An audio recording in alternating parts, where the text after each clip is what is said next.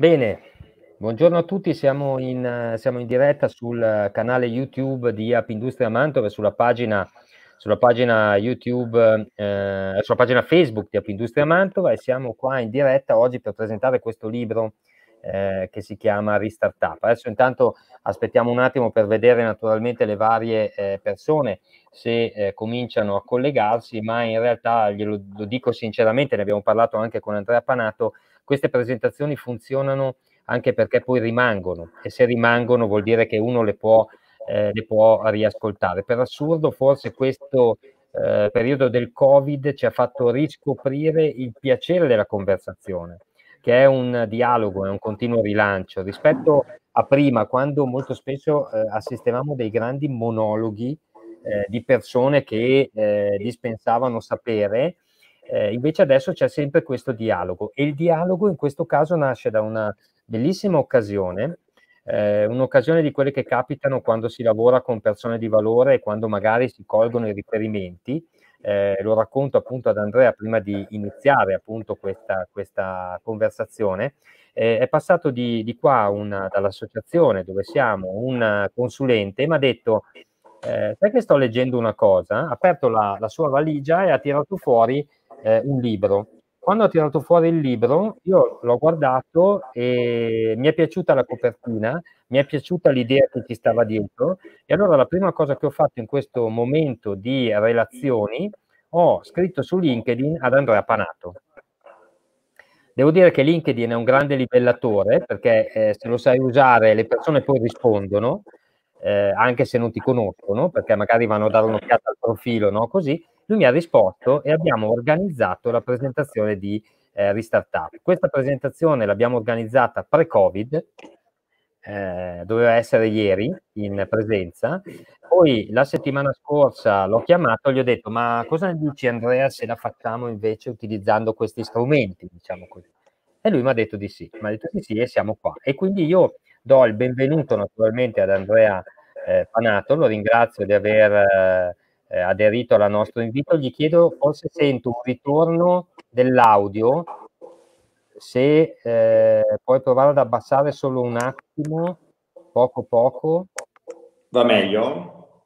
Sembra, sì, sembra che vada meglio, perfetto. E eh, quello, che, quello, che, dicevo appunto ad Andrea, ad Andrea Panato è che prima di arrivare al libro, io eh, gli chiederei di dirci chi è naturalmente Andrea, eh, appunto chi è Arrigo Andrea Panato, poi tanto diciamo chi è Andrea e poi dopo magari gli faccio una domanda per capire chi è Arrigo, eh, però chi è, cosa fa, eh, intendo dire nella, nella, sua, nella, sua, vita professionale e quindi come impatta eh, sulla vita a questo punto delle aziende.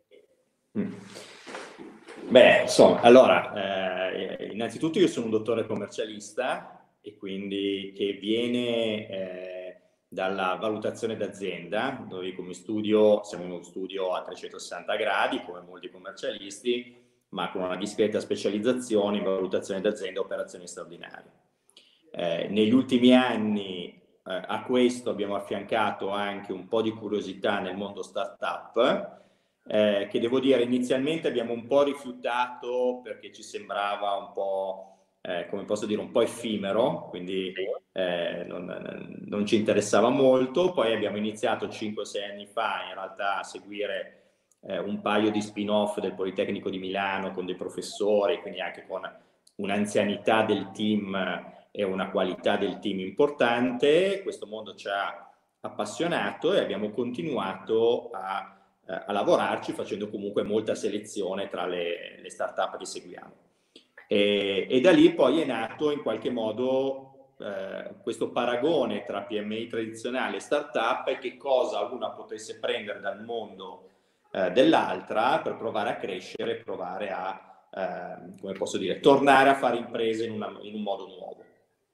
Sì, perché in effetti quello che tu mi stai dicendo è che eh, bene o male nel mondo delle, delle start-up, soprattutto per chi eh, magari frequenta anche un po' eh, quella che è la pubblicistica, eh, la pubblicistica americana, c'è, intendo dire, tutto questo mito no, della startup o il mito del, eh, del garage eh, e di quello che eh, naturalmente è il, ehm, l'idea che una startup è una serie di giovani che si mettono insieme a una eh, grandissima idea e poi questa idea eh, viene sviluppata in modo esponenziale. Questo mito, diciamo così, della startup in realtà si scontra poi eh, anche negli Stati Uniti, secondo me, ma anche in Italia, con una realtà molto più, molto più dura. E questa cosa che tu mi dicevi che all'inizio ne siete stati un po' lontani per questo aspetto, chiamiamolo effimero, no? o questa idea di questa, eh, di questa sorta di bohème in un'azienda startup, eh, devo dire che è abbastanza, secondo me, è abbastanza normale. Poi, Sai,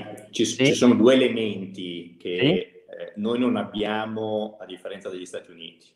Certo. Una è un mercato di capitali eh, molto dinamico. Sì, certo. E due, eh, delle grandi aziende che possono comprare la startup.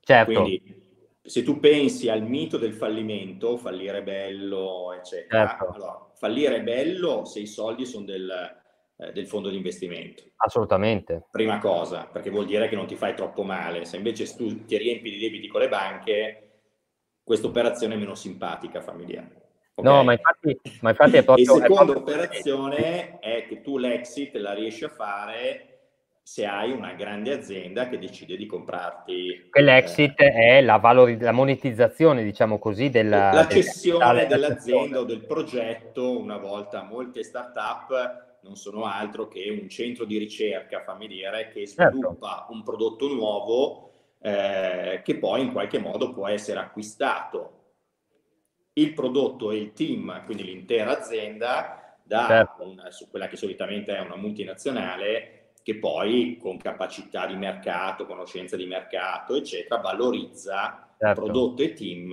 eh, inserendolo all'interno del suo portafoglio. No? Certo. Qua da noi, vivendo principalmente di piccole e medie imprese, è, è, è, mo- è molto più complicato una, una via di quel tipo lì. Diciamo che non c'è ne, nemmeno quella, eh, quella, tradizione anche di questa eh, idea no? di eh, acquisizioni continue per aumentare magari questa cosa. Adesso è WhatsApp, penso che adesso sia di Facebook se non sbaglio, no? quindi sono tutte queste naturalmente cose che vengono acquistate.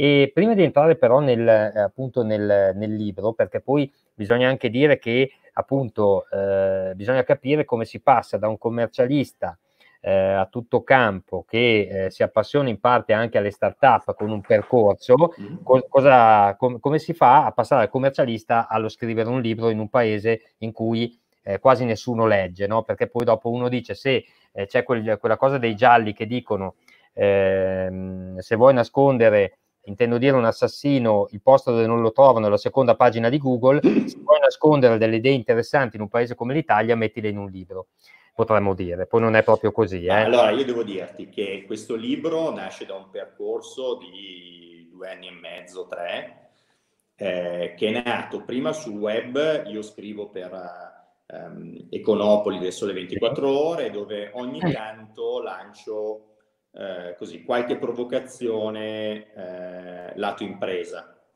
Certo. La cosa divertente è che queste provocazioni sono state raccolte da una serie di persone particolarmente autorevoli, sì. poi trovi nel, nel libro certo, intervistati, quindi imprenditori eh, innovativi, abbastanza importanti, con una buona seniority, certo. con degli ottimi pro- progetti, eh, professori universitari, eh, personaggi importanti nel mondo della finanza, eccetera mi ha colpito molto questa disponibilità a dialogare, no? Sì. ci siamo conosciuti eh, su LinkedIn, l'hai raccontato prima, eh, eh, certo. devo dire che è stato molto interessante questa disponibilità a dialogare e a un certo punto ho deciso di dire sono venute tante idee, ho bisogno io per primo di metterle a sistema, certo. perché quello che sta emergendo diventa in qualche modo anche eh, un metodo per fare consulenza che può essere sì. utile anche eh, al lettore imprenditore e quindi la sfida è stata poi quella di trasformare tutto questo in un libro, chiedere a eh, una quindicina abbondante di, di, di persone eh, di partecipare alla scrittura attraverso interviste e devo dirti che la cosa più, che più mi è piaciuta è che tutti mi hanno destinato tanto tempo. Cioè, quando io ho chiesto l'intervista, io ovviamente cerco, essendo una persona educata cerco sempre di entrare in punta di piedi, certo. eh, in qualche modo o mandando le domande prima o chiedendo di poterla fare al telefono, insomma senza certo. troppo tempo. Invece la maggior parte e soprattutto quelli che sono assolutamente più impegnati e con maggiore visibilità per le dimensioni dell'azienda, mi hanno chiesto di fare l'intervista, di incontrarci eh, nel weekend per poterci prendere un pomeriggio o una giornata per eh, affrontare il tema, perché avevano bisogno, volevano approfondire e quindi non volevano farla formale, tra virgolette. Questa cosa mi è piaciuta molto perché è stato un momento eh, di ricerca importante. Ma in effetti eh, la, adesso torno solo un attimo indietro perché poi volevo eh, partire anche dal fatto che tu hai due nomi e volevo che citassi quella che è la prima frase che introduce il libro, poi dopo invece torniamo al tipo di, eh, al punto al tipo di lettore. Però questa cosa del tempo che tu dici è, effettivamente così, cioè quello che diciamo prima, la conversazione, il dialogo, l'intervista, il fare le eh, domande, se una persona secondo me coglie nella persona che ha di fronte una eh, sana curiosità, eh, sono quasi tutti no, inclini a eh, parlare e a raccontarti in queste esperienze. Se colgono eh, la, diciamo così, classica eh, domanda fatta e eh, tanto per fare e eh, da, per non ascoltarlo oppure per raccontare il colore o per cercare di trovare quello che è l'aneddoto e invece secondo me le persone magari sono meno inclini a condividere quella che è un vero una vera e propria esperienza. Invece la condivisione la conversazione è fondamentale. Le interviste, poi ne parleremo di alcune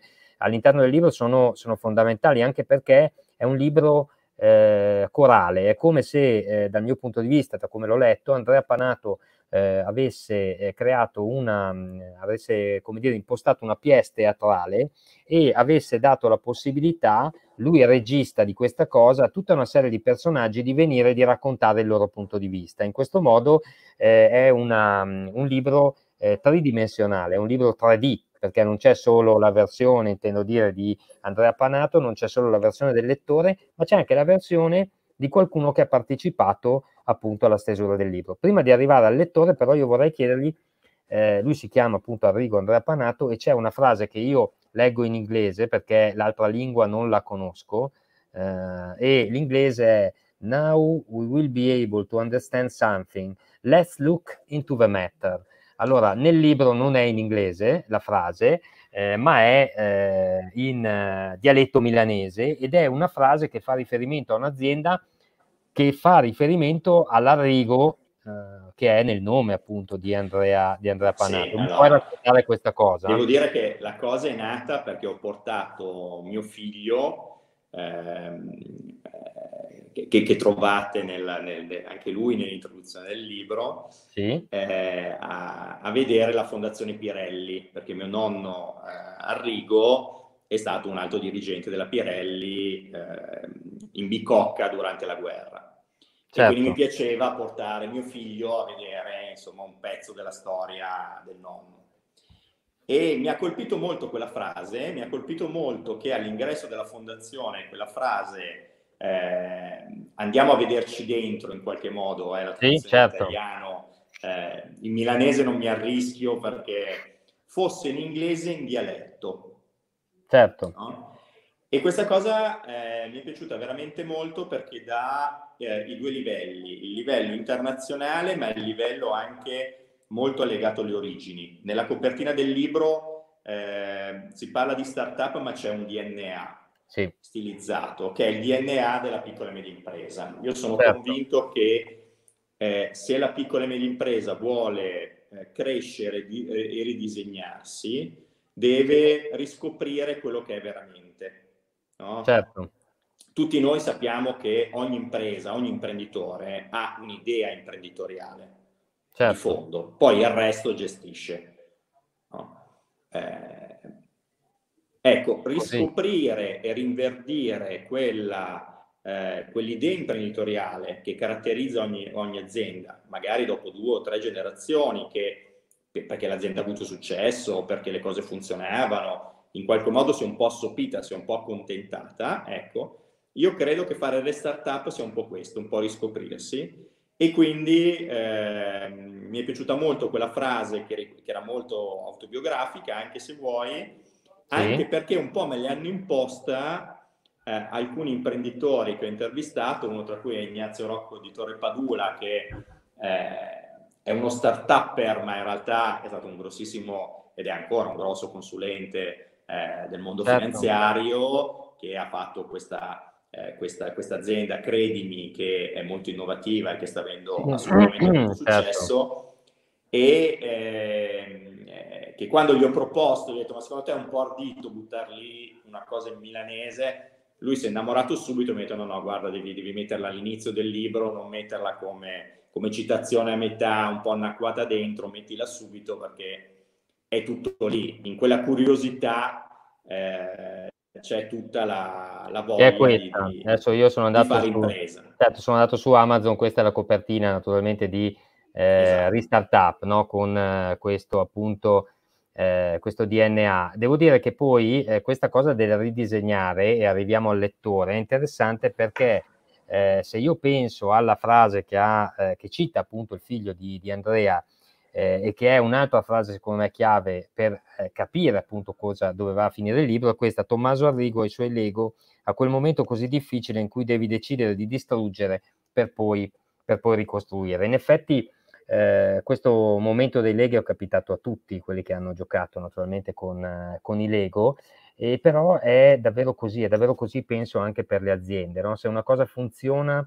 perché devo ridisegnarla? Eh, se abbiamo sempre fatto così e ha sempre funzionato, perché la devo, perché la devo cambiare? In realtà poi eh, nel libro questa cosa viene effettivamente spiegata secondo me molto bene, vengono dati molti spunti e allora io prima di eh, arrivare a eh, entrare proprio nel libro chiedo un'ultima cosa appunto ad Andrea che è per che tipo di lettore tu hai pensato questo libro, nel senso che quando uno di solito decide di scrivere questa cosa, è vero che hai il blog su Sole 24 ore, quindi un lettore tu in testa ce l'hai, un tuo punto di riferimento, ma eh, se avessi dovuto dire a chi lo darei in mano eh, immediatamente, qual è il tipo di lettore per cui hai pensato il libro? Ma guarda, allora, eh, io dico sempre che questo è un libro scritto eh, in buona parte da imprenditori, perché poi molte delle idee che io sintetizzo eh, vengono dagli imprenditori e eh, per l'imprenditore.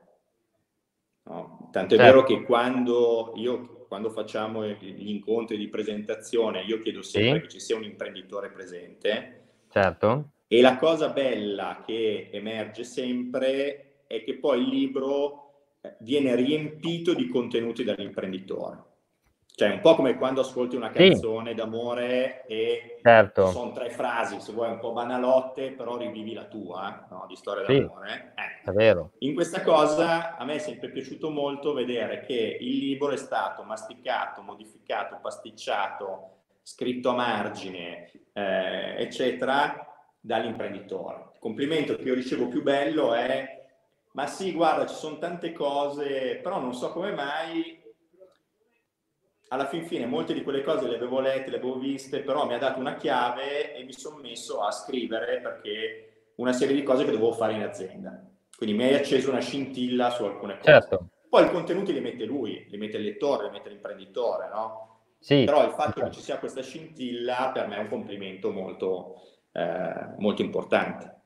Ma è, è, eh, devo dire che è, è davvero così, nel senso che poi ci sono anche delle frasi eh, naturalmente che ci sono all'inizio di ogni, all'inizio di ogni capitolo, no? che sono delle frasi che tu hai scelto, che sono evocative, poi ne citerò una che mi è particolarmente, eh, particolarmente cara perché io sono un appassionato di, di, fumetti e quindi insomma ce n'è una veramente molto, molto interessante, perché poi eh, devo ammettere come c'è il mito delle start-up, c'è il mito dei supereroi no? in America e questi archetipi dei supereroi sono eh, molto interessanti, soprattutto un tipo di supereroe che è quello che eh, quando fa il supereroe non ha eh, difetti, quando invece vive la sua vita normale è pieno di complessi, di difetti, no? che è un po' eh, a volte quello che accade agli imprenditori, quando sono impre- nell'azienda e sono nel loro, eh, nella loro, appunto, nel loro mondo, eh, sono delle, delle, specie di supereroi, quando li, li, vedi magari nella vita normale tornano ad essere eh, delle persone normali. Non solo, io credo che sia un po' come capita a tutti noi, no?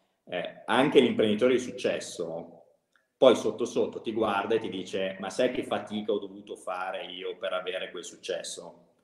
No? Eh certo. Eh, io credo è che un po' il segreto sia un po' quello, ammettere che c'è stata fatica, che, che c'è stata così. paura anche a volte. No, no, è proprio, è proprio così. Adesso stavo andando a eh, vedermi eh, se la trovavo la, la, cosa, ma adesso la, la, cerco mentre magari rispondi all'altra domanda, la citazione appunto del, di, questo, di questo fumettario, di questo autore. Però l'altra cosa che volevo chiederti è questa. Allora, abbiamo detto appunto perché è stato scritto, come è stato scritto e eh, per che tipo di lettore. Poi adesso però andiamo ai due protagonisti del, alle due protagoniste del libro, eh, che sono le PMI e, eh, e le start-up. Certo. Eh, perché questo libro cerca l'intersezione, no? cerca qual è il punto che in realtà è quello che manca una e potrebbe essere utile per l'altra e, eh, e viceversa. E allora ti dico, ti chiedo che qual è la differenza magari principale tra eh, le PMI e eh, le start-up e poi andiamo magari a vedere quale potrebbe essere il punto invece di intersezione è quello che eh, potrebbe andare a vantaggio dell'uno e dell'altro. Guarda, allora io sono partito da sì? eh, un'analisi macroeconomica. Oggi in Italia abbiamo difficoltà a ripartire perché abbiamo eh, delle, mm, come posso dire, medie imprese eccezionali sì? che funzionano molto bene, che sono leader di mercato, che lavorano eh, con l'estero, che sono inserite in filiere di valore, eh, che sono estremamente certo. dinamiche. Abbiamo molte imprese marginali che sì. fanno fatica a stare in piedi e che probabilmente certo. stanno in piedi perché abbiamo tassi bassi e che quindi il tasso basso, la liquidità che c'è sul mercato ti consente in qualche modo di, di sopravvivere e certo. ti perdona molti errori. E poi abbiamo una platea molto ampia, questi sono dati Banca d'Italia, eh, sì. di PMI che alla fin fine stanno abbastanza bene, sì. ma eh, Banca d'Italia parla di imprenditore sopito a un certo punto, dicendo che si accontenta, cioè cresce. Eh, io quando ho letto in un articolo sempre del Sole di Luca Tremolada che le start-up italiane rischiano di cadere vittima del, ehm, posso, dei difetti della PMI, che è quella di appena ho di che vivere con soddisfazione, di sedermi e di accontentarmi. Ecco, questa cosa a me ha aperto abbastanza un mondo, ho detto, beh, proviamo a vederla dalla, dal punto di vista eh, della PMI e non di quello della startup, perché la PMI si accontenta. Uh-huh. E allora da lì ho detto, beh, analizziamo cerchiamo di capire meglio e, e mi sono fatto un'analisi autobiografica. Il nostro studio è uno studio di una decina di, eh, di persone, sì. quindi non è un grandissimo studio, eh, che però eh, vuoi perché siamo visibili, vuoi perché siamo simpatici, eccetera, richiede eh, molto spesso ci richiedono di fonderci, di creare delle partnership piuttosto. Sì. Quindi noi, eh, ti dico, l'anno scorso abbiamo, chied- abbiamo ricevuto eh, otto offerte di fusione o di acquisizione del nostro studio, che sono tante. Certo. E io periodicamente dicevo no, non siamo pronti. Quindi mi sono fatto una bella analisi e ho detto ma perché la startup passa la vita a essere pronta per l'investitore, certo. mentre la PMI passa la vita a evitare l'investitore. E anche Studio Panato ogni volta dice che non è pronto, in fin dei conti i risultati funzionano, sì. si accontenta un po' e dice lo farò dopo, no? Certo. Tant'è vero che il sottotitolo, che non è mio, ma è, di, è, è, è della casa editrice, sì.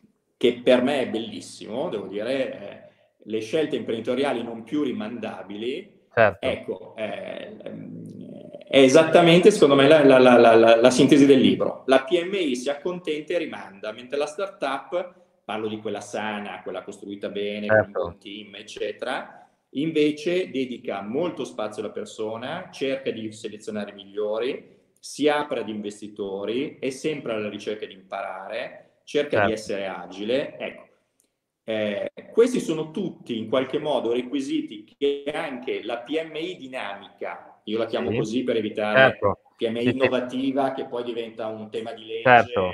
eccetera, eh, che anche la PMI dinamica ha E quindi ho detto, beh, in fin dei conti la differenza vera tra la startup e una buona PMI è che la startup ha bisogno di scalare molto velocemente, quindi di crescere in maniera, è un tema di velocità e quindi anche certo. di capitali che ha bisogno di avere dentro.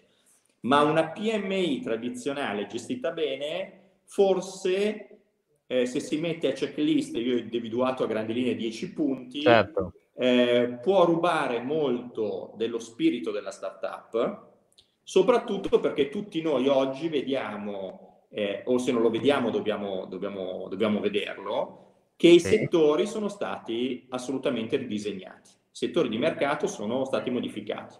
Se io penso al nostro studio, ripeto, il libro è molto autobiografico, eh, io è da tempo che non mi confronto più nel momento della crescita, nel momento di disegnare le nostre strategie, con lo, col mondo dei commercialisti classici, ma di più con l'advisor che fa M&A, lo studio legale d'affari, eh, certo. eh, che fa consulenza direzionale o altro. Poi ovviamente si pasticcia tutto, no? Cioè, sì, sì, vabbè, di, sì. Fare, di trovare una tua soluzione. Assolutamente. Ma io quello che chiedo sempre ai miei clienti, soprattutto quando vanno bene, quindi quando sono soddisfatti, che è il momento più pericoloso, sì. è quello di dire mi dici fuori dal tuo settore qual è l'azienda che ti, che ti incuriosisce, qual è l'imprenditore che ti eh, stimola. No? Io trovo per esempio da seguire un imprenditore straordinario, Luca Foresti, del mm-hmm. Centro Medico Sant'Agostino. Sì, che è che uno dato, degli intervistati. Dato molti spunti, certo. eh, però ovviamente fa tutt'altro rispetto a quello che faccio io, per intenderci. Certo. Ma in effetti questo è molto interessante perché vuol dire superare gli, gli schemi e superare, secondo me, le barriere. Eh, quello che prima facevo la citazione di era Stan Lee, uno dei più grandi autori naturalmente di fumetti, che dice io non ho ispirazioni, ho solo idee, idee e scadenze, no? E le idee e scadenze secondo me sono fondamentali perché eh, devo ammettere che in tutto quello che stiamo vedendo in questi momenti appunto di Covid, di pandemia o altro, quello che però eh, stiamo tornando a imparare è che bisogna, eh, bisogna, scrivere le cose, bisogna scrivere le idee, bisogna darsi delle scadenze, altrimenti le cose non, non si muovono. Io devo dire che ho rispolverato il quaderno, il tenodiere del liceo, no, dove scrivo gli appunti e queste cose, perché eh, è così, eh, il digitale è, f- è, fenomenale, ma poi l'atto dello scrivere, del riflettere, appunto di appuntarsi le cose è fondamentale. Quello che eh, mi piaceva appunto di quello che stavi dicendo, del fatto che eh, tra PMI e startup, ma soprattutto anche tra imprese diverse, bisogna abbattere questa idea che eh, se io sono in un settore non posso imparare da un altro settore o non posso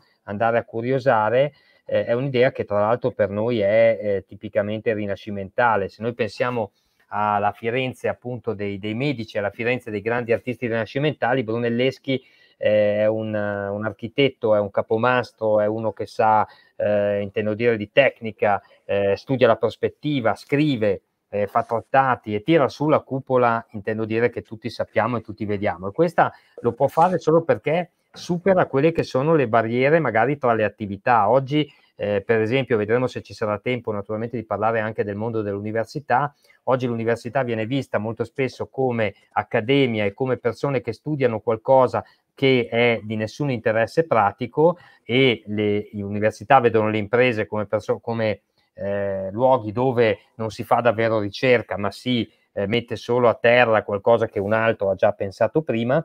Se si riuscisse a trovare questo punto di intersezione per superare questa diciamo, diffidenza che c'è tra i due mondi, secondo me ci sarebbero veramente tantissime possibilità, soprattutto in un'Italia che ha punte d'eccellenza tra le medie imprese, come dicevi tu, le imprese dinamiche, ma anche le piccole imprese che vogliano crescere e l'università che in realtà fa il suo lavoro quando ci sono delle persone di valore all'interno. Per esempio, tu intervisti eh, Paolo Gubitta che eh, parla appunto di, di, di imprese familiari e un'altra differenza probabilmente tra le PMI e le startup è che la PMI, che di solito appunto ha una matrice familiare, almeno in Italia, ha una visione completamente diversa eh, rispetto alla startup, che è questa, quello che dicevi tu prima, no? Eh, la PMI è come se fosse il figlio dell'imprenditore. A chi verrebbe voglia di valutare o di vendere, intendo dire, un figlio, no? E invece la startup nasce proprio con l'idea che quello lì è un progetto che io costruisco, creo e poi lo voglio mettere sul mercato. Ma guarda, eh, rubo la citazione a un altro, eh, sì. un altro grande imprenditore che è Alberto Baban. Sì. E lui mi dice, mi ha detto, guarda, le imprese oggi devi eh, gestirla come se dovessi venderla domani. Sì. Eh, ma non venderla se non è necessario. Sì, che Quindi certo. è proprio un tema, più che la vendita, no? perché io so che quando affronto questo tema poi l'imprenditore mi guarda male e già vuol girare pagina, no? Fa, certo. No, lascia perdere sta roba, io non ci penso nemmeno, sto bene, finché certo. ci sono io, non è. Ma il tema non è cedere l'azienda, il tema è quante persone ti hanno chiesto di acquistarla sta azienda? È allora, corretto. Se certo. hai tante offerte, offerte serie ovviamente, no? dove ti soffermi almeno a valutarle, perché a certo. un euro le compro tutte, no? Certo. Eh, allora, allora in quel caso stai lavorando bene. L'imprenditore solitamente vede come cartina di tornasole il cliente, che è giustissimo, sì. però è anche facile oggi. Certo. Se la tua azienda ha valore anche nel futuro, lo capisce meglio l'investitore, il concorrente, ehm, quello sopra o quello sotto nella tua filiera. Sì. Quante, quante richieste di acquisto della tua azienda vere hai avuto? Questa è una domanda, secondo me, fondamentale.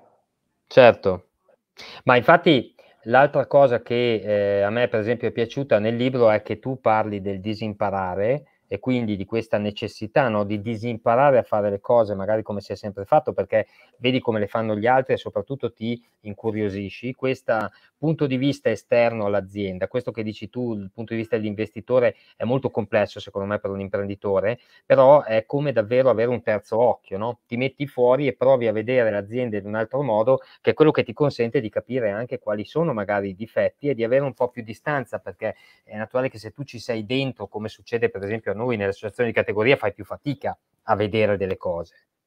Allora Giacomo, ti faccio uh, la domanda provocatoria che faccio io quando entro in un'azienda sì. è oggi grandi, a grandi linee facciamo finta che il patrimonio netto sia un milione di euro. Certo. Cioè ciò che vale i soldi messi dentro, non ciò che vale, i soldi messi certo. dentro. Tu rimetteresti un milione di euro in questa azienda? Domanda. Cioè, se tu li metti in borsa, quanto pretendi di certo. avere come ritorno? E oggi, nella tua azienda, il capitale che tu hai messo di immobili, conoscenze, eh, know-how, eccetera, eccetera, quanto dovrebbe renderti? Ok, certo. così, così togliamo, togliamo, l'effetto devo venderla, non voglio certo. dentro, eccetera. Certo. Ma se tu ti togli il cappellino da manager della tua azienda, quello che la gestisce, torni a fare l'imprenditore e diventi investitore di te stesso, tu ci metti dei soldi dentro, ma sì, non sì. dei soldi perché sei innamorato, perché certo. la tua famiglia, perché se tu potessi, continueresti a lavorare in questo settore?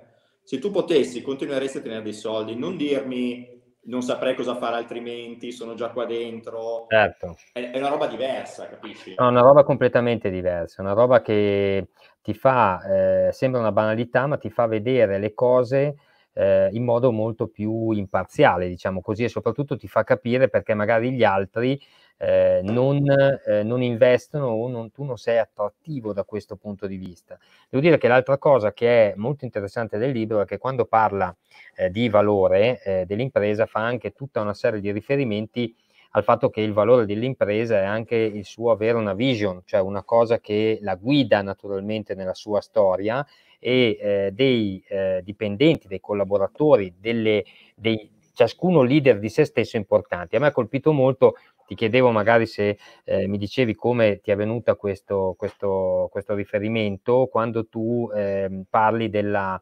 inserzione che viene fatta per il nuovo direttore eh, di, una, eh, di, un museo, no? Di un museo. Di un museo. E eh, io quando ho letto la, ehm, l'inserzione leggo solo alcune cose eh, dove, dove, dice tratti della personalità, no? Nell'iniziazione c'è questo, dice una figura rappresentativa, influente e ispiratrice per il museo, appoggia i valori fondamentali, è curioso, individuale, aperto, ambizioso, intraprendente, grande senso di responsabilità per la continuità, capacità di prendere il comando, pensatore agente rapido intelligente, un buon giudice di carattere, ha entusiasmo coinvolgente che attrae le persone, e le spinge a esprimersi nel miglior modo possibile, è di ispirazione per le persone, incoraggia nuove idee, è un pensiero fuori dagli schemi, bridge builder, mediatore, dotato di coraggio e perseveranza, indipendente, leale, onesto, ha un buon senso dell'umorismo e sa come mettere le cose in prospettiva e qua a me è venuta in mente la scena di Mary Poppins eh, dove i due bambini danno la lettera eh, per eh, appunto la per la governante, il padre naturalmente la strappa, no?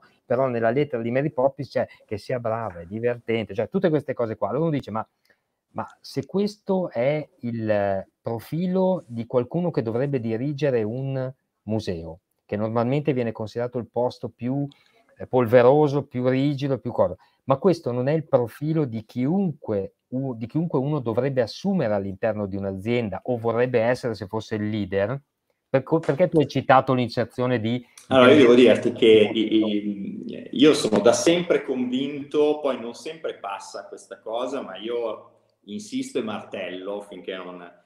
Eh, che l'economia della cultura, quindi eh, dall'inserzione nel museo all'intervista a Corrado Delia, che è un carissimo amico, nonché eh, regista e attore teatrale, è una importante palestra per l'economia che cambia.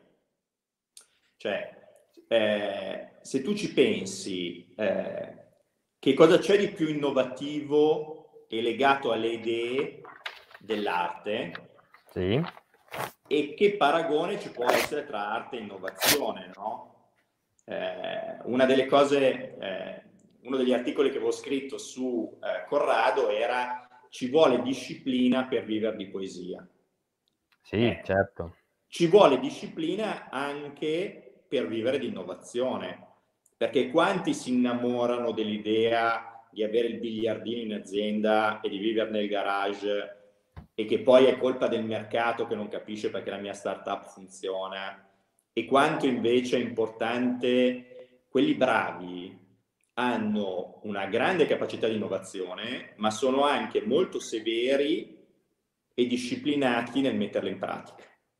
Ed è una cosa che io ho trovato ehm, come paragone molto forte nel regista teatrale, sì. perché il regista deve avere le idee, deve disegnare, deve eh, sognare, certo. ma poi è un dittatore sul palcoscenico. Sì, sì, deve, sì, è così de, de, deve, deve, eh, la realizza- deve essere molto severo nella realizzazione, lasciare molta libertà agli attori, ma contemporaneamente se, ehm, pretendere molto dagli attori, mettiamola così, più che severo, più che dittatore, deve pretendere che la qualità sì, sia. Certo, okay. ma infatti è così. Ed è come quindi bottega... questo riferimento mi piace molto anche perché oltre a questo magma di idee e di, eh, dall'altro lato, se vuoi, di eh, disciplina, l'economia del, de, de, dello spettacolo è sempre legata a una fortissima scarsità di risorse.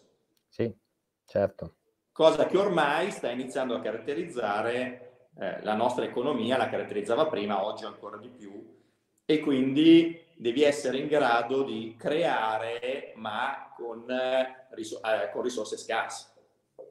Certo, è e questo lo trovo, se, se, si studiano con attenzione, io cerco di fare insomma, un po' di analisi nel libro, i due percorsi si possono trovare tanti spunti. Cioè, come vedi io cerco di recuperare idee eh, un po' qua e là confrontandomi. Ma la cosa interessante secondo me è proprio che eh, quando uno pensa agli artisti di solito pensano al genio e alla sregolatezza, così come con le start-up, pensa al genio e pensa a chi gioca a biliardino o che eh, magari appunto ha lavorato nel, nel, garage. Poi in realtà se uno va a vedere davvero queste, queste persone, sono persone che hanno una fortissima componente di motivazione, di disciplina e eh, sono, ehm, hanno la fissazione per gli obiettivi quasi al limite della patologia, cioè nel senso che per loro raggiungere l'obiettivo è quello che appunto devono fare. Eh, molto spesso quando si cita un pittore eh, maledetto e scapestrato, eh, si prende Caravaggio, no? si prende, dice, grande genio, poi grande sregolatezza, omicida, eh, una persona che comunque era, andava in giro con la spada, che frequentava prostitute e tutto quello che la leggenda nera di Caravaggio. Poi si va a vedere quello che Caravaggio fa nella sua vita ed è vero, un uomo del 600 come lui era un uomo che era senza, senza limiti, nel senso che eh, uccide uno a una partita di pallone e poi uno fa anche dei paragoni eh, con l'attualità, intendo dire anche oggi per il pallone a volte magari si muore, però la cosa interessante è questa, tu vai a vedere i contratti che fa Caravaggio e i contratti che fa Caravaggio sono dei contratti molto precisi e lui rispetta perfettamente le consegne, lui non vuole pagare penali, lui rispetta le consegne appunto di, eh, di dei quadri, rispetta i materiali che gli chiede il committente, a volte cambia perché il committente non ha apprezzato quello che ha fatto, quindi rifà nel rispetto di quello che gli chiede il committente. E la cosa che a me ha colpito di più è stato questo, quando lui scappa da Roma per aver ucciso eh, appunto il suo, il suo, avversario in amore, arriva a Napoli, trova una commissione, la prima commissione, gli danno un anticipo e lo va a depositare al Banco di Napoli, che non so se fosse una scelta oculata dal punto di vista dell'istituto bancario, intendo dire delle storie che magari ci sono state o se la banca fosse quella giusta, ma uno che va a depositare i soldi in banca e poi si fa il bancomat per recuperarli, capite che non è uno scapestrato, è uno che ha un atteggiamento, ha magari una sorta di suo ruolo che interpreta, perché nel 600 gli chiedevano quello, ma per quello che fa è disciplinato, perfetto, preciso e non sbaglia, intendo dire non sbaglia un colpo. Questo è l'artista, perché se l'artista pensiamo che sia genio e sregolatezza, ci perdiamo, intendo dire tutto quello che ci sta dietro naturalmente l'artista. E sto pensando anche al teatro, perché il teatro è una grande scuola di organizzazione, come dicevi tu Andrea, poche risorse e soprattutto eh, forse il cliente più difficile che è quello che eh, viene a vedere il tuo spettacolo non perché gli salva la vita o perché gli serva per, eh, intendo dire, sopravvivere, ma perché tu l'hai convinto che a teatro succederà qualcosa che può vedere solo lì ed è una cosa fenomenale. Tu dimmi quale commerciale di un'azienda eh, vorrebbe avere la capacità di convincerti ad andare a vedere il nulla che avviene sul palcoscenico. Assolutamente. Parole, assolutamente. No? E l'altra cosa che ti chiedo è questa, prima di arrivare poi ai vari punti di vista eh, che sono presenti appunto nel libro, eh, quindi il punto di vista del consulente, il punto di vista dell'investitore che abbiamo già accennato, il punto di vista della banca è questa. Tu parli di dati, nel libro si parla tanto di dati no? e si dice che non bisogna avere paura, intendo dire, dei dati, eh, ma non bisogna nemmeno eh, sottovalutare quello che appunto i dati eh, ti possono raccontare. Eh, mi, ra- mi, racconti un po' questa importanza, intendo dire, dei dati vista anche dal punto di vista di come vengono governati all'interno dell'azienda? Allora, io eh, devo dirti, nel, nel, nel, libro c'è anche una forte critica alla consulenza in generale. Mm-hmm. No? Sì. Eh, e quindi vorrei partire da lì per poi, sì. per poi arrivare ai certo. dati. Eh, l'anno scorso abbiamo organizzato, grazie alla disponibilità del Sole 24 Ore, un incontro a porte chiuse, perché ho voluto poche persone, tutte molto qualificate, eh, che io ho chiamato l'Accademia dei Pugni, manzoniana, eh, dove il tema dell'incontro era imprenditori contro consulenti. E io ho fatto eh, prima parlare gli imprenditori, perché gli imprenditori sono quelli che si espongono di meno, che hanno meno voglia di discutere, che tirarli fuori dal capannone eh, è un problema, eccetera. E la cosa che mi è piaciuta molto è che gli imprenditori ovviamente hanno, come posso dire, colpito e affondato i consulenti in maniera eh, micidiale. Ha tirato fuori un po' di stereotipi, un po' di situazioni, però hanno manifestato fortemente il loro scontento. Eh, e a me questa cosa è piaciuta molto. Gli imprenditori, i consulenti poi ovviamente, ma solo in seconda battuta, hanno risposto perché la, la, come posso dire, il ruolo da protagonista era quello degli imprenditori, l'idea era quella di imparare. E eh, secondo me, dico questo perché secondo me uno dei problemi con i numeri eh, siamo noi consulenti a darli agli imprenditori. Quando noi chiediamo di fare un'analisi dei dati, molto spesso abbiamo consulenti che arrivano in azienda, portano via un fracco di tempo, riempiono eh, costringono l'imprenditore a studiarsi 10, 20, 30 indici di cui a volte l'imprenditore non capisce granché e pretende che il consulente non capisce granché uh-huh. e pretende che ne capisca l'imprenditore. quando l'obiettivo vero è che ragionevolmente per gestire l'azienda, quantomeno un'azienda di piccola dimensione, piccola e media, insomma, ci sono due o tre numeri da tenere uh-huh. sott'occhio, quelli, a quelli servono all'imprenditore, perché altrimenti l'imprenditore li fa gestire al ragioniere o, o, o al direttore amministrativo, e quei numeri servono solo se poi l'imprenditore li guarda, li modifica, mi chiede di modificarli perché gliene servono in maniera più dettagliata o meno, ma li utilizza. Okay? Certo. Mio padre, io mi ricordo, eh, a un aperitivo con un imprenditore eh, d'estate, dove io mi lamentavo perché in agosto incontravo un cliente, eh, si mise a disegnare quattro numeri su, su, un fazzolettino di carta, il classico tovagliolo di carta da, del bar. E quando io gli dissi, ma vabbè, ma boh, perché hai fatto quei due numeri? Uh-huh. E lui mi ha detto, ah, perché l'imprenditore ha bisogno di avere pochi dati, ma quei pochi dati sono quelli necessari per la sua decisione. Poi vedrai che tornerà a casa la sera, ne parla con la moglie il giorno dopo litigano, ma il pomeriggio prende la decisione. Ma certo. non devo trasferire io la complessità dei numeri sull'imprenditore. L'imprenditore ha bisogno di, di avere una sintesi. Ok? Certo. E questo è un primo tema. Quindi i consulenti non sempre sono così bravi a dare sintesi all'imprenditore, a parlare il linguaggio dell'imprenditore. Il secondo tema è che i numeri a volte si preferisce non vederli perché sappiamo tutti noi che certo. a volte, soprattutto in un'impresa familiare, il numero, il, prob- il numero ti evidenzia un problema in azienda e se risolvi il problema in azienda lo trasformi in un problema in famiglia.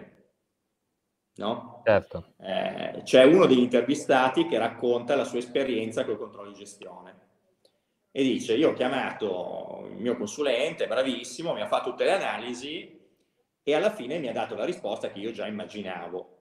Fa, il vero collo, collo di bottiglia in azienda è tua madre che a 80 anni gestisce l'amministrazione ancora con strumenti un po' arcaici. Certo. Okay? E lui che è un imprenditore molto, molto maturo, molto avveduto, ha detto eh, va benissimo, affianchiamo alla mamma una persona, io so che il compenso della mamma è un lusso uh-huh. che io mi devo permettere, ma certo. lo scrivo alla voce lusso. Certo. Eh, mia madre avrà sempre un posto fondamentale in azienda. Il collo di bottiglia però viene eliminato perché le affianco una persona. Io so che ho un aumento di costi, devo certo. essere consapevole che devo fare un aumento di ricavi, devo, devo avere un'azienda sufficientemente efficiente per compensare un lusso che mi prendo, che è quello di mantenere il ruolo a mia madre perché deve essere un ruolo importante. Quindi crea una sorta di bypass. No? Ecco, certo. noi a volte non abbiamo questa consapevolezza. Non, eh, nessuno dice dobbiamo stravolgere il rapporto impresa-famiglia. Dobbiamo uh-huh. essere consapevoli, consapevoli, dobbiamo sapere che al posto della Porsche ci teniamo in casa un familiare meno efficiente, va bene così, ma l'azienda deve essere in grado di sopportare questo. Quando l'azienda non è più in grado, dobbiamo prendere delle scelte, come dicevo prima, non più rimandabili e quindi bisogna intervenire. E in effetti questa cosa che mi stai dicendo poi ci porta, dopo il punto di vista del consulente, a vedere un altro punto di vista, che, di cui si parla appunto nel libro, che è il punto di vista della, eh, della banca. E tu fai riferimento no, a un sistema bancario eh, italiano di un certo tipo e fai riferimento a, queste, eh, a questi difficili a volte rapporti, anche se poi dici che, come hai detto anche all'inizio, i tassi di interesse intendo dire bassi o così, sono anche eh, certe volte eh, un modo per nascondere eh, quelli che sarebbero degli errori che in altri eh, momenti non verrebbero perdonati magari dal mercato. Allora, parlando di carte scoperte, sappiamo sì. tutti che nella crisi 2008-2011 le banche hanno finanziato le perdite, non hanno finanziato gli investimenti. Mm-hmm. D'accordo? Sì. Questo vuol dire che da una parte c'era un ruolo sociale che la banca ha fatto di ammortizzatore, dall'altra c'è una forte inefficienza delle banche, dichiarata, eh, non sto parlando male, eh, certo, no, no. Eh, come parlo male dei, dei, dei consulenti, mi, mi, eh, c'è un'inefficienza molto forte nella stima del merito creditizio delle aziende. Questo da una parte incide non finanziando idee innovative, sì. dall'altra consente di tenere in piedi aziende che magari non meriterebbero di rimanere in piedi. So che questo è un discorso antipatico, ma eh, secondo me va fatto. Uh-huh. Questo vuol dire che l'imprenditore a maggior ragione ha difficoltà a valutare la sua azienda, perché se prima aveva un contraltare nella banca e riteneva autorevole la banca, perché il sì o il no della banca era una risposta corretta, oggi il sì e il no non sempre lo è, fatemi dire, quindi mm-hmm. l'imprenditore ha già meno difficoltà, per lui è, più difficile capire se l'azienda sta andando bene o sta andando male, al di là dei numeri in sé, perché tutti gli interlocutori in conto, che ha intorno non sempre sono sinceri o sono sufficientemente severi, fatemi dire. Uh-huh. Noi ci siamo occupati eh, e probabilmente purtroppo torneremo a farlo in qualche modo anche di risanamento aziendale. Certo. Uno degli errori più grossi, le, le litigate più forti che facevamo noi erano con i colleghi che avevano un atteggiamento consolatorio nei confronti dell'imprenditore. Uno dei problemi quando l'azienda è in difficoltà, il, lo vediamo in un periodo come quello di oggi, devi essere uh-huh. veloce, perché se quando l'azienda fa utili, se perdi tempo, ti porti a casa dei dividendi, quando l'azienda fa perdite, se perdi tempo, certo. porti a casa del debito. Uh-huh. Quindi deve essere molto veloce. Quindi il primo problema è, ed è un problema molto forte per l'imprenditore, non è facile, però il consulente deve apposta, insomma, certo. anche a rischio di perdere il cliente, è mm, chiarire immediatamente, fare una fotografia della situazione e dire, signori, dobbiamo cambiare deve essere fatto qualcosa, va venduto un pezzo, bisogna trovare un socio, va venduta l'azienda, va chiusa, oppure semplicemente ridefiniamo un piano di risanamento, abbiamo tutte le possibilità per farlo, per crescere. Ecco. Certo. Questo eh, eh, avendo un sistema bancario che non è così severo come spesso non lo sono i consulenti, eh, questo, tutto ciò non aiuta l'imprenditore a prendere delle scelte nette sulla sua azienda e certo. rimane su una sorta di zona di comfort. Eh, mentre iniziamo a vedere che si stanno affiancando proprio per l'inefficienza del sistema bancario delle realtà, eh, noi per esempio stiamo vedendo su realtà piccole sì. dei club deal, quindi dei eh, piccoli gruppi di investitori, amici ovviamente dell'investitore sì. in sé, noi sì. l'abbiamo fatto sia su realtà di tipo informatico, quindi startup o giù di lì, sia in realtà del mondo eh, delle costruzioni, dell'edilizia, quindi molto tradizionale se vuoi, uh-huh. dove l'imprenditore edile dice noi definiamo un progetto, un progetto fatto molto bene, con dei termini definiti, con dei buoni margini, eh, a, piuttosto che avere un'eccessiva esposizione bancaria, crea un gruppo di amici che hanno voglia di investire all'interno di questo progetto.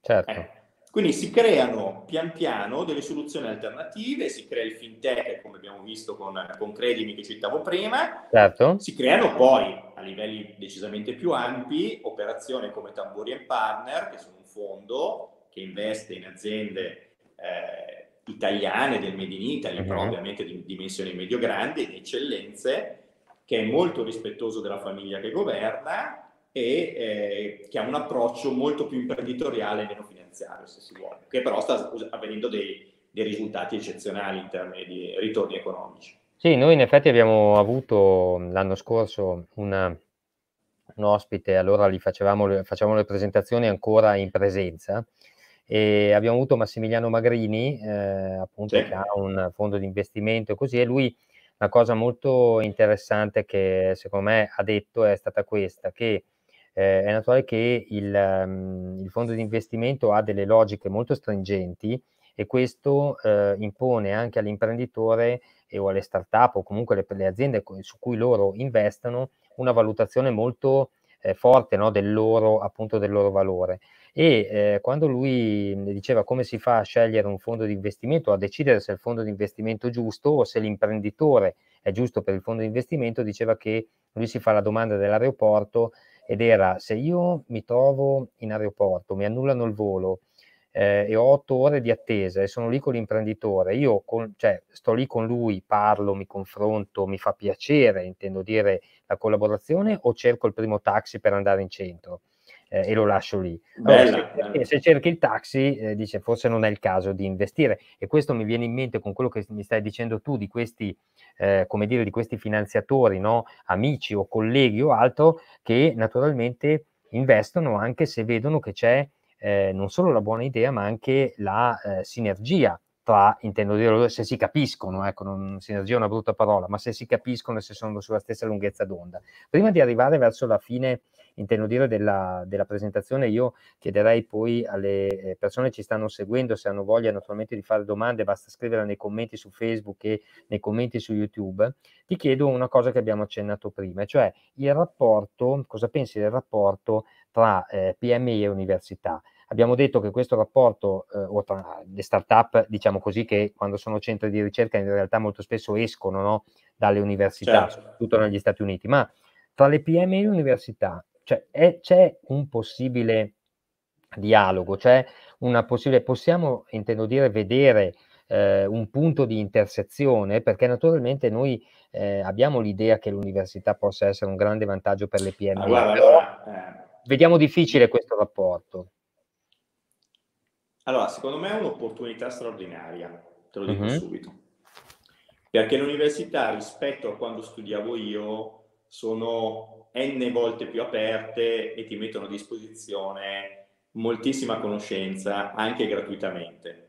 No? Poi ovviamente si creano tutta una serie, ci sono tutta una serie di percorsi perché l'impresa possa crescere insieme all'università, attingere risorse con l'università, eccetera. Certo. Eh, io ricorderò sempre uno degli intervistati che è Filippo Berto eh, di sì. Berto Salotti che eh, è un carissimo amico ed è un'impresa dell'eccellenza nel settore arredamento che è un'impresa estremamente innovativa pur essendo in un settore molto tradizionale, lui si definisce artigiano, è fedelissimo al suo distretto di Meda che ritiene il centro del mondo, eccetera eh, lui quando era presidente eh, dei, dei, giovani della sua associazione mi diceva la grossa difficoltà quando riusciti, siamo riusciti ad avere una, una, una, collaborazione con la cattolica era far arrivare i ragazzi dentro l'università. Uh-huh. Perché il padre diceva ma cosa vai a Milano, è lontana, c'è traffico, butti via un pomeriggio, che senso ha, magari non erano laureati, una cosa e l'altra. Ecco, oggi io devo dire che se riusciamo a vincere questa, eh, come posso dire, questa, questa pigrizia che c'è, eh, secondo me c'è una possibilità incredibile, ma anche da casa. Cioè, le persone con cui ho costruito il libro, tu hai citato Gubitta, sì. eh, Francesco Venier, Alfonso Fuggetta, Stefano Mainetti, sono tutti professori a cui ho chiesto aiuto per capire meglio e mm. che tranquillamente su Facebook, su LinkedIn, con un colpo di telefono, bevendo una birra, mi ha dato tutta la disponibilità del mondo per riuscire a chiarirmi un po' le idee. Uh-huh. Filippo, lo stesso Filippo Berto, lui è stato adottato da alcuni professori di Venezia e di Ca' Foscari. Uh-huh. Okay? Eh, perché? Perché per loro lui è un caso di studio, quindi interessante vederlo crescere, e per lui sono uno straordinario modo di rispecchiarsi e di mettere ordine, soprattutto per un'azienda che cresce molto e quindi certo. vive molto di intuizioni, ogni tanto ha bisogno di fermarsi e di riordinare e capire se questa struttura funziona. Quindi io invito veramente tutti a eh, seguire le persone eh, che io ho intervistato nel libro, perché sono tutte persone estremamente generose nella loro disponibilità se tu pensi, una delle cose che mi ha colpito molto, ti, ti mm-hmm. racconto per darti, sì? non è università, ma per darti l'idea della disponibilità. Certo.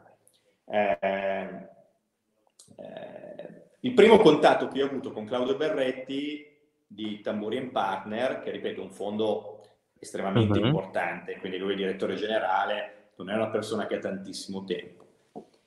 Io mi sono trovato ad avere una praticante che doveva laurearsi a breve, il suo professore gli aveva promesso eh, un'intervista con Tamburi e improvvisamente a una settimana dalla tesi eh, è saltata perché l'imprenditore, il, il, professore ha scoperto di non avere il contatto, insomma che doveva eh, arrangiarsi un po' la, la mia praticante.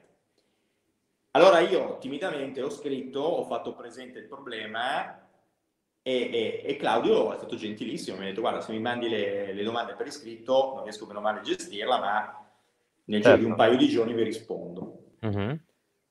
Quando ho fatto il libro l'ho chiamato per dire eh, ti scoccia se inserisco quelle domande che in qualche modo erano nate all'interno dello studio ovviamente eh, all'interno del libro, interviste all'interno del libro. Uh-huh. E lui è stato gentilissimo, me l'ha rimandata aggiornata ovviamente perché voleva raccontare qualcosa in più. Certo. Poi ci ha pensato e mi ha detto, senti Andrea, ma bella l'intervista, mi ha incuriosito, ma non hai mezza giornata da dedicarmi perché vorrei conoscere di più del tuo progetto? Ecco, allora, a me questa cosa ha colpito molto perché mm-hmm. poteva fregarsene, voglio dire, sì. no? Ecco eh, le mie imprese non sono in target con, con, con la sua realtà familiare. Assolutamente. Però in un momento in cui si focalizzano, uno dice perché dovrebbe investire del tempo su una cosa che non è in linea con quello che potrebbe essere il suo obiettivo finanziario o economico. Perché le persone curiose, quando vedono che c'è sincerità anche nel mettersi in gioco, eh, ti seguono e danno disponibilità su questo. E per me questa cosa qua è fondamentale. E in università ci sono queste cose qui. Il mm-hmm. Politecnico di Milano sta facendo cose eccellenti, eh, il QOA sta facendo cose eccellenti, Ca' Foscari sta facendo cose eccellenti, la Bocconi in qualche modo è diventata più accessibile. Ecco, e, e soprattutto mettono a disposizione moltissime ricerche. Certo. E quello che mi, stai dicendo, quello che mi stai dicendo è che comunque, ancora una volta, da dove siamo partiti, siamo partiti dal, eh, dall'uomo, diciamo così, e torniamo all'uomo, cioè sono le persone naturalmente che poi all'interno dell'università eh, fanno eh, il meglio, danno il meglio e io sono convinto che questo periodo, intendo dire di emergenza che stiamo vivendo, ci stia dimostrando ancora una volta come eh, anche nel telelavoro eh, in realtà non è una questione certe volte di organizzazione dell'azienda, è anche quello, non è una questione solo di tecnologia, è anche quello, ma è una questione di persone, è una questione di avere eh, di tirare fuori il meglio e quindi quando questa persona tira fuori il meglio in azienda, se tu la mandi a lavorare a casa tirerà fuori ancora di più. Se in azienda tira fuori, tra virgolette, il minimo, eh, in uh, casa tirerà fuori ancora meno. Naturalmente non è una questione di dove si lavora. E poi guarda, torno, eh, sì? sono talmente d'accordo con te, con quello che dici, che torno sulla crisi eh, della consulenza e in qualche modo sì. sulla crisi dell'università quando noi abbiamo avuto la grande crisi del 2011 sulle imprese, le imprese l'hanno vissuta, eh, portano ancora le cicatrici, fammi certo. dire, eh, ma le imprese, molte imprese sono cambiate. Mm-hmm. Proprio perché la crisi è stata certo. un acceleratore, no? Cioè, certo. Cioè, ha creato molti problemi, ma ha costretto a darsi una scossa. Consulenza e università l'hanno vissuta molto meno, questa. Uh-huh. E quindi sia la consulenza che l'università ricercano oggi il confronto con le imprese per recuperare un gap che non c'è. Certo. Un'altra cosa che mi ha colpito tantissimo in questo mondo degli imprenditori, eh, diciamo dinamici, proprio per dire che appartengono molto spesso anche a settori molto tradizionali, è che in un paese che premia poco il merito, premia poco l'innovazione, eh, lo vediamo adesso. Certo. Tu stai dando soldi a pioggia, per cui quelli molto bravi si trovano in difficoltà perché i soldi sono pochi, quelli che sarebbero dovuti fallire ieri improvvisamente hanno dei soldi e sono certo. felici. Okay? Certo. Quindi hai poco premio all'innovazione. Molti imprenditori bypassano consulenti e formatori, creandosi loro un piccolo club, un piccolo uh-huh. circolo di imprenditori dinamici dove c'è un confronto molto forte. E io questa sì. cosa qua la trovo straordinaria. Sì, Vuol dire che c'è una vivacità certo. anche nel, nel, tessuto imprenditoriale se ne parla poco perché sono molto, molto ristretti, molto riservati, certo. Sì, sì. ma di cui che bisognerebbe provare a raccontare di più e io cerco di farlo nel libro, insomma.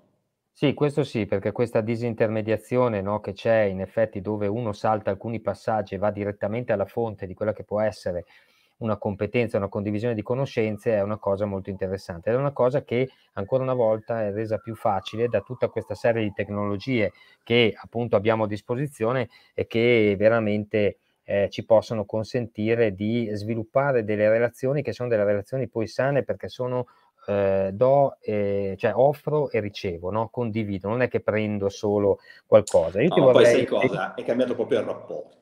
Se tu ci mm-hmm. pensi, in un mercato ragionevolmente stabile, il consulente cosa fa? Guardo cosa fanno le imprese migliori, definisco un modello, poi vado dal nuovo cliente certo. e lo forzo applicando il mio modello. Mm-hmm. Ok? Sì. In un mondo che cambia molto velocemente, ora che io ho fatto il best practice, sono vecchie. Sì, certo. Quindi o faccio da facilitatore, quindi aiuto l'imprenditore a mettere ordine tra le sue idee, suggerisco degli spunti, suggerisco un dialogo sì. e si costruisce con l'imprenditore un rapporto dinamico che non è una soluzione preconfezionata, ma è la sua soluzione dove io contribuisco per quello che posso come consulente nel, nel definire una struttura, nel dare dei tempi. No? Prima dicevamo, certo. lì, ho delle idee e delle scadenze. A me spetta la parte importante di essere severo sulle scadenze, di porre certo. delle scadenze. Contribuisco all'imprenditore lanciando le idee, la sintesi poi la fa lui, poi tocca a me aiutarlo a mantenere la tabella di marcia. Ecco. Quindi secondo me eh, tutto questo è, cambia- è cambiato un mondo, è cambiato tanto, le tecnologie, come dicevi, ci aiutano e dobbiamo provare a essere più curiosi. Ecco, sì, questo, questo è il segreto. Questo sì. E devo dire che su questa cosa della curiosità ti faccio l'ultima domanda e poi vorrei chiudere con un'altra citazione che c'è nel libro che a me è piaciuta veramente molto, eh, che viene da un mondo che io non conosco e per cui non ho una passione ma che mi incuriosisce molto, questa cosa della curiosità è fondamentale ed è questo. Ti chiedo se, eh, se avessi scritto o se dovessi scrivere il libro oggi, eh, se eh, cambieresti qualcosa eh, sulla base di quello che sta succedendo con questa naturalmente crisi, eh, di questa emergenza sanitaria, o se invece in realtà da un certo punto di vista questo è un libro che eh, parla comunque di imprese, di PMI, di start-up, di consulenza, di banche, così, ma ne parla eh, senza tenere conto magari di quella che può essere questa difficoltà, cioè cambierebbe poco probabilmente nel libro se dovessimo considerare questo. Non lo so, che cosa, cosa ti viene da, da Allora, tieni presente che nella bibliografia del libro trovi testi di 10-20 anni fa. Mm-hmm. Quindi è un testo sul fare impresa, non è un testo sull'ultima innovazione certo. tecnologica, è un testo che si basa sull'approccio. Certo. Quindi potrei dirti che magari eh, avrei inserito qualche intervista in più, perché nel frattempo sono nate altre cose sì. e quindi è importante. Eh, io su Facebook ho un, un gruppo Restartup dove periodicamente inserisco certo. articoli, stimoli e dove nasce una discussione proprio per continuare viva con gli imprenditori eh, questo dialogo che per me funziona come zibaldone, trovo una cosa interessante appunto eh, l'idea che mi ha fatto venire in mente, metto l'articolo e poi lascio che altri lo digeriscano, lo mastichino certo. e poi insieme troviamo qualcosa magari di più interessante di quello che ho, che ho trovato io. Eh, cambierei forse la parte finale eh, legislativa dove c'è però un capitoletto, fammi dire, un po' di agevolazioni all'innovazione certo. perché mi ricordo comunque di essere un commercialista e allora le metto, però, eh, però devo dirti che il, quello che cambia veramente, secondo me, è che mentre prima questo libro si rivolgeva a una platea più limitata di imprenditori, sì. eh, così un po' più illuminati, un po' più dinamici, o magari ai figli degli imprenditori, a me una cosa che ha fatto molto piacere quando faccio gli incontri dal vivo è che solitamente arrivano i figli o le figlie dicendo mi fa l'autografo che l'ho comprato per mio padre, l'ho comprato per mia madre perché uh-huh, eh, certo. mi è piaciuto, no? E, ehm, adesso in realtà questa situazione di emergenza, eh, come posso dire, lo rende di ulteriore, più, più impellente attualità, insomma, quindi questo, amplia la platea. Questo sì, allora ti faccio una domanda che è arrivata da, da una persona che ci sta seguendo e poi chiudiamo e ci scusiamo per sforato leggermente rispetto all'ora che ci eravamo dati come ideale appunto durata.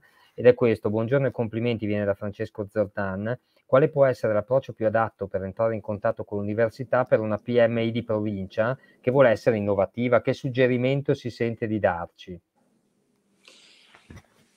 Ma guarda, io direi quello che ho fatto io, molto banalmente. Quindi io ho iniziato a seguire un po' di professori che trovate nel libro, un po' di consulenti che trovate nel libro eh, da lì ogni tanto ci sono degli eventi, sono degli eventi pubblici, uno uh-huh. può andare a verificare, controllare, eccetera, e poi magari passare al, al, al, livello superiore. Poi ci sono dei programmi, dei programmi interessanti. Eh, proprio ieri, per esempio, c'era eh, Alfonso Fuggetta, che è il direttore del CEFRIEL, che è un centro eh, universitario anche lì legato al Politecnico di Milano, che raccontava come con una PMI di una decina di milioni di fatturato, quindi ovviamente non piccolissima ma neanche una multinazionale, hanno creato un prodotto nuovo, hanno disegnato un prodotto nuovo sfruttando sia le ricerche del CEFREL sia il network di ricercatori eh, anche internazionali del CEFREL, l'hanno presentato a New York e adesso il primo mercato di questa, eh, di questa azienda è il mercato americano. Certo. No?